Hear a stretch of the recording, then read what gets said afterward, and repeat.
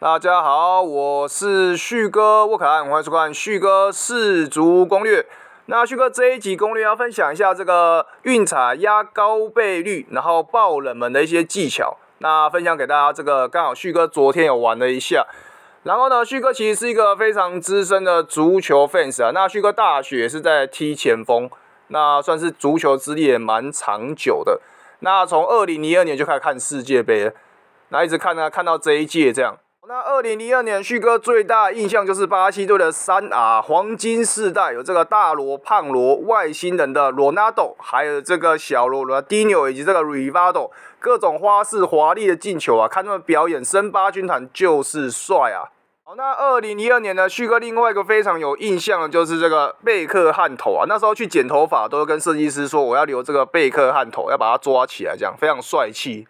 好，那像是这个零六年呢，这个法国的奇战啊，把这个冠军杯给锤飞了，这个头锤。那一零年呢，西班牙非常精彩的传导，然后延长赛这个获胜。那一四年呢，德国一样在延长赛赢过这个梅西的这个阿根廷。那一八年呢，法国夺冠也是很精彩的这个比赛。好，那大家有兴趣的话呢，旭哥可能会考虑做一下这个各届世界杯的重要精彩的看点，比如说零二年啊有什么精彩的看点啊，然后呃特殊的一些点在哪里啊，然后有趣的地方、有趣的这个事件，那都会在这个之后分享给大家。大家有兴趣的话，可以在影片下面留言。好，那我们接下来就进入这个主题啊，这个运彩高倍率、高赔率啊，这个大爆冷一些这个买法一些技巧。那大家假如看新闻的话，应该看到这个今天最新的新闻大爆了嘛？这个摩洛哥二比零击败比利时，这个那因为比利时呢是世界排名第二名的，那摩洛哥击败他，所以这个算是非常大的冷门了。那旭哥刚好有小买了一下，那首先先奉劝一下各位，这个小赌怡情啊，玩玩就好了。旭哥也是小玩一下就好，这个输的话也不会就是觉得啊有什么心痛这样，就只是好玩而已啊。奉劝大家不要玩太大，这样好。就是这个旭哥，这个做这个也是趣味性质，也不是鼓励大家去赌博。先声明一下，就是旭哥不鼓励大家就是去赌博，就是做好玩就好，小玩一下，开心就好了。好，那这个是旭哥的运彩的单子啊，昨天这个经过运彩，那就小玩了一下五百块，就是压这个摩洛哥获胜。那摩洛哥获胜的倍率呢是四点五倍。所以说，旭哥可以拿到这个两千两百五十块了，然后应该就是净赚一七五零这样，小玩一下而已。那旭哥再次声明啊，不是要鼓励大家去赌博，那大家也不要就是赌博赌上瘾啊，就好玩就好了，好不好？开心就好。那旭哥这个五百块就是觉得啊，好玩玩一下而已，那赔了也没关系，就是这种心态，这样小玩一下，开心就好了。但是为什么会压这个摩洛哥会赢呢？其实旭哥不是随便压的。旭哥压的时间点，大家看到这个上面是在十点多嘛？那时候比赛已经进入六十几分钟了。那时候是旭哥觉得，哎，摩洛哥有机会会获胜，所以旭哥才压。那时候刚好是零比零还是平手的时候，所以摩洛哥的倍率比较高，最多好像还有到五点多。旭哥买完之后好像有飙到五点多吧，将近六倍的时候，印象中是这样。好，那可能有些观众朋友们从来没有玩过运彩，或是不太了解这个运彩的机制，那旭哥就稍微简单的介绍一下，简单的解释一下。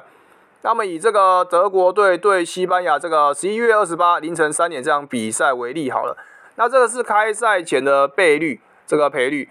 那你只要压这个德国队获胜的话呢，赔率是二点六倍，等于是说你压一百块，你可以拿回两百六十块。假如德国队获胜的话，等于说净赚一百六这样。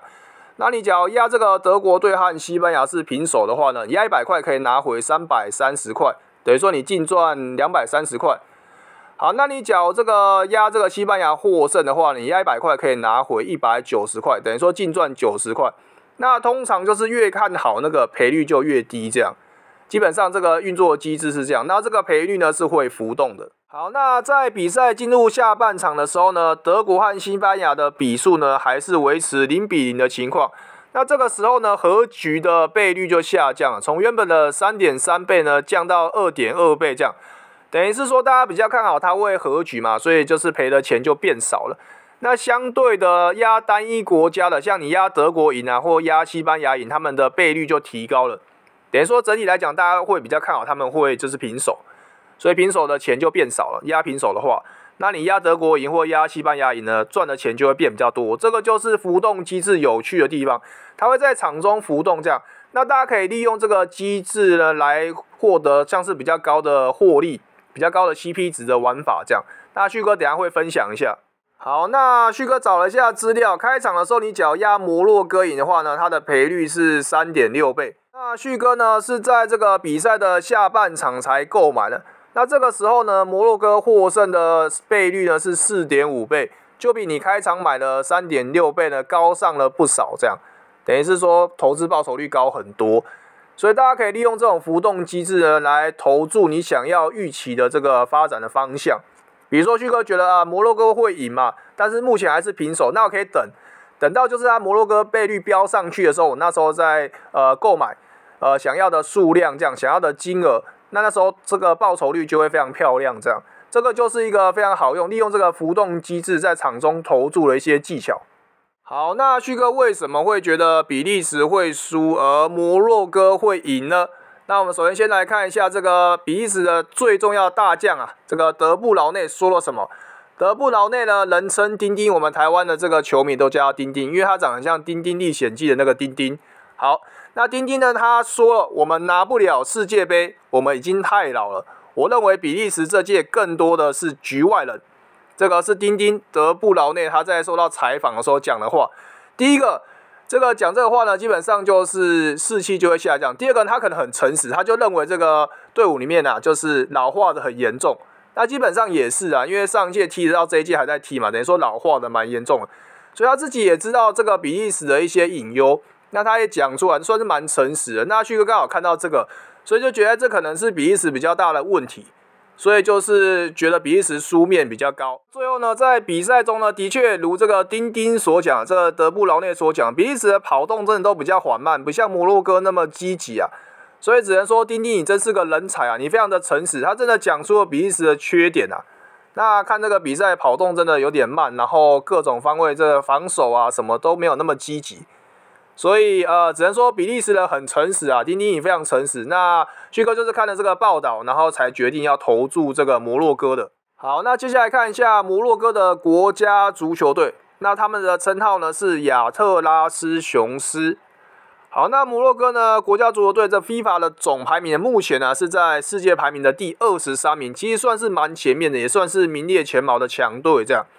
那最高排名曾经来到世界第十名啊，在一九九八年的时候，那最低排名呢是九十五名，所以基本上是有一定的实力。目前二十三名的这个队伍，对这个世界第二嘛，基本上实力还算不错。